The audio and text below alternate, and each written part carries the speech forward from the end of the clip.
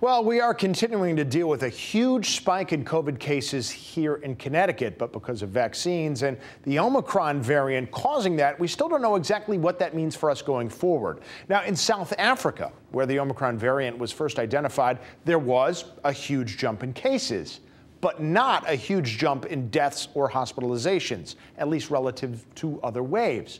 Is that happening here? A bit of a mixed bag. I mean, certainly we're seeing the jump in cases. Look at this. We had more positive tests last week than we saw in April, May, June, and July combined. Enough to jump the positivity rate to record highs. You see it there in the orange, and it's still going up.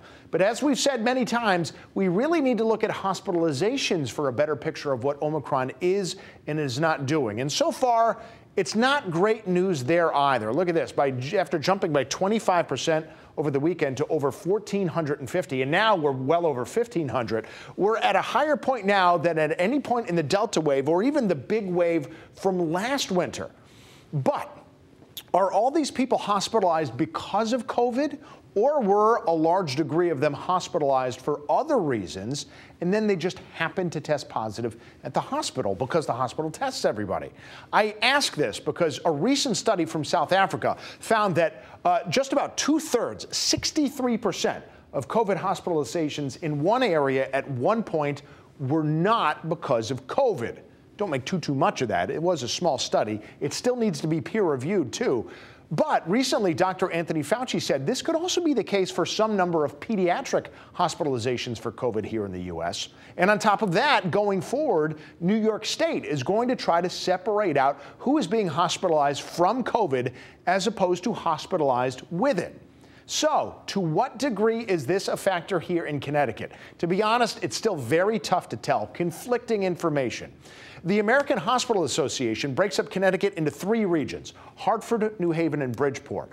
All three regions have not shown a big increase in overall hospital bed use for all reasons, including COVID. This is the Hartford area behind me. You can see it's been holding steady for months now at about three quarters of the available beds in use.